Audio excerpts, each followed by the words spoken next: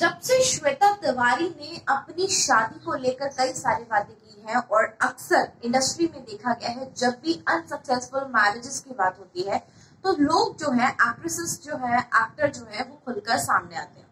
हाल ही में श्वेता तिवारी की अनसक्सेसफुल शादी को लेकर, एक नहीं बल्कि दो दो शादियों को लेकर बातचीत चल रही थी। इनफैक्ट अब हाल ही में महिमा चौधरी, जो कि बॉलीवुड एक्ट्रेस है और परदेश मूवी से इन्होंने बॉलीवुड में डेब्यू किया था।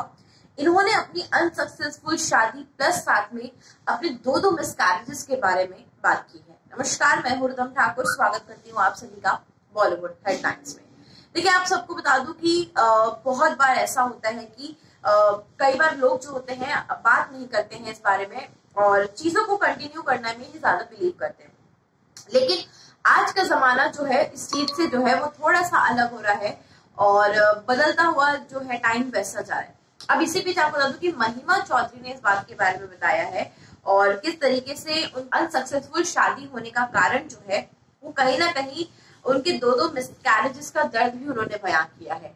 साथ ही उन्होंने बताया कि उनको अभी फ़िलहाल एक बेटी भी है और 2006 में उन्होंने शादी की थी, जिसके बाद, कुछ सालों के बाद में ही उनका तलाक हो गया था। इनफैक्ट उन्होंने ये भी कहा कि वो जब वो अपने घर में होती थी, तब उन्हें बिल्कुल भी सुकून नहीं मिलता था। लेकिन जब वो अपनी मॉम के पास में होती थी, उन्हें बहुत आराम मिलता था।